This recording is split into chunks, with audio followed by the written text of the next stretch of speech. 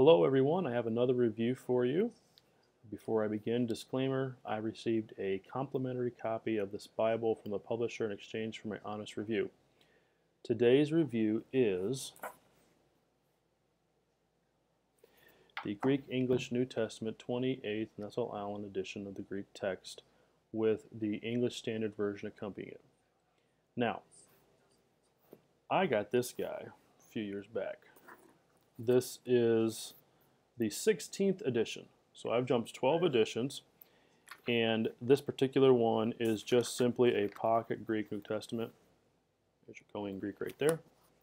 That's it, nothing else. Jump over to this guy, and what you have is Greek and English in one, and I really appreciate the difference.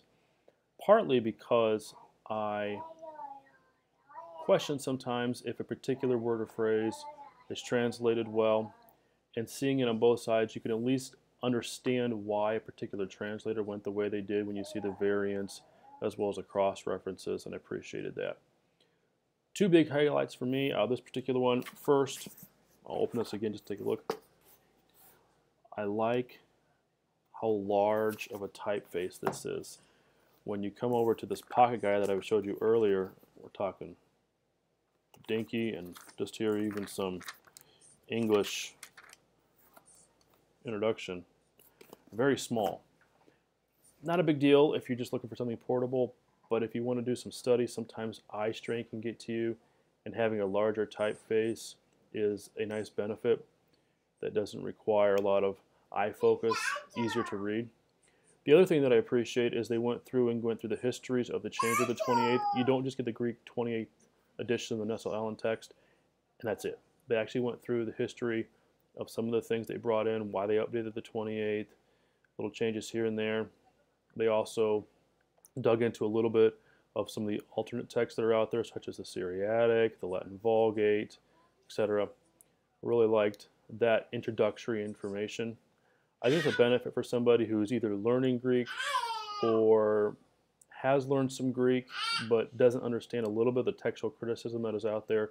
This introduction does quite well to help explain some of the reasons why certain versions exist and why there might be a little bit of variances on why this word or that word and why it was translated using this grammatical structure or that grammatical structure, etc. The Bible itself, good, strong. I like it.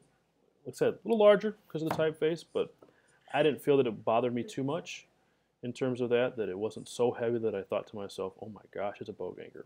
None of that whatsoever. If you are looking for an interlinear, this is not a satisfactory option. The reason being you have English on one and Greek on the other side. As such, you don't have the word by word going down that a lot of them do, where you usually have a Greek and underneath is the English, and they try to match up the Greek word with the English transliteration or translation. I do understand that Crossway has an interlinear. I'd hope to get a copy of that and review that. Uh, haven't seen anything come my way yet, but you know who knows. That said, sometimes it's just nice to not have the distraction of doing a line by line where you're reading English, then dropping, you're in Greek again, then drop to English. It's just nice to read Greek all the way through or English all the way through and not have to switch gears between the different languages. In that respect, I really like this Greek New Testament. Hope that helps you. See you next time.